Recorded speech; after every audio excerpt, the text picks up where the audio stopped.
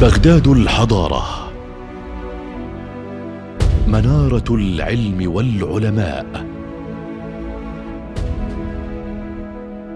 في وقت كانت أوروبا تعيش في دياجير الظلام. بغداد التاريخ.